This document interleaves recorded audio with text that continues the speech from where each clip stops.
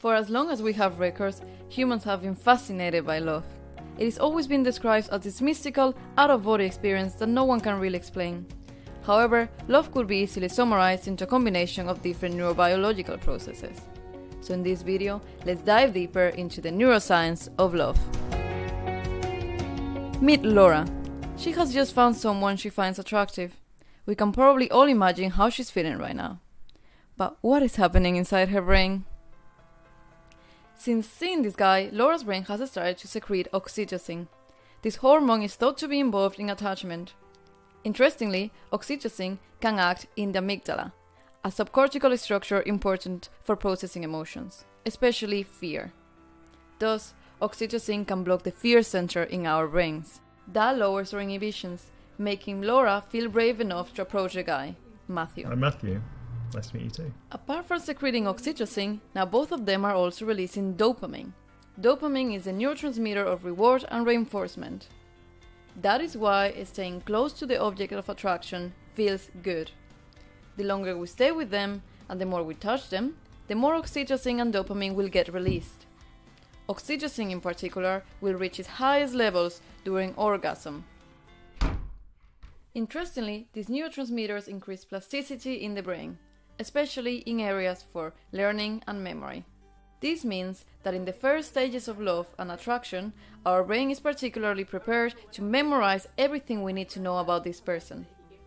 If the couple continues to see each other, these two neurotransmitters will make Laura and Matthew want to spend more time together, as dopamine makes them more rewarding and oxytocin makes them feel euphoric and relaxed. That is also why boring activities will seem fun if they are together. Additionally, oxytocin will continue to interact with the amygdala, decreasing fear and inhibitions. At this point, red flags might be harder to spot. So now you know why they say that love is blind. Another relevant neurochemical is serotonin. Its levels considerably decrease in the beginning of a relationship. Drops in serotonin levels are also associated with depression and obsessive compulsive disorder. This has led some researchers to suggest that it might be behind the obsessive behaviors early on in relationships. So, next time you find yourself checking your new partner in social media or continuously thinking of them, you can blame serotonin. So far, we have discussed three neurochemicals that are crucial for the development of love and attraction over the first few weeks and even months. However, these neurotransmitters are not enough long term. That is when beta endorphin comes in. This neurochemical is the natural brain's opiate and is released when laughing, singing, or doing exercise. It seems to be involved in all long term non sexual relationships, thus, it mediates attachment between friends and family, as well as long term romantic partners. As any opiate drug, it is also very addictive and can produce intense feelings of craving and withdrawal. Therefore, when the effects of the other neurotransmitters start to go down, Laura and Matthew can rely on beta endorphin to maintain the relationship. It will make them crave each other's company when they are apart. Of course, this is only a simplified explanation, since love is a complex construct that is not fully understood yet.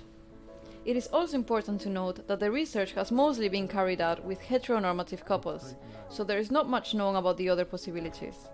What we do know is that our brain is fully responsible for that fuzzy feeling and all the stupid stuff we do in the beginning of a relationship. So, next time you say to someone, I love you with my whole heart, maybe you should say, I love you with my whole brain and all of the neurotransmitters.